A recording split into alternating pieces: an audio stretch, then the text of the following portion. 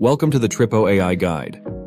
In this issue, let's address how to fix the issue of multiple heads that may persist even after the second stage refine process. For example, if Pikachu has incorrectly drawn eyes on the back after refine, you can resolve this using Adobe Substance 3D Painter. Open Adobe Substance 3D Painter and drag the GLB file directly into it. In the 3D panel on the left, zoom in and out by scrolling the mouse wheel, and rotate the view to the back by holding Alt and dragging the mouse. Select Layer 1, find the indicated position in the image, and change Normal to Pass-Through. Next, on the left side of the UI, choose the Clone Stamp tool, press V to select the source node, and then use the mouse to brush over the incorrectly generated parts of the model.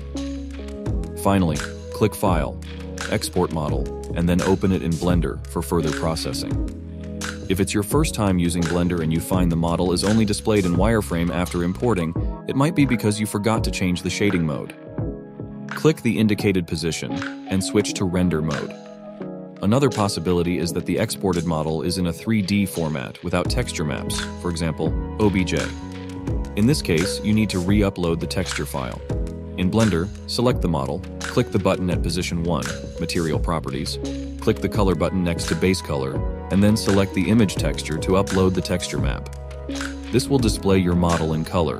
Don't forget to switch to render mode.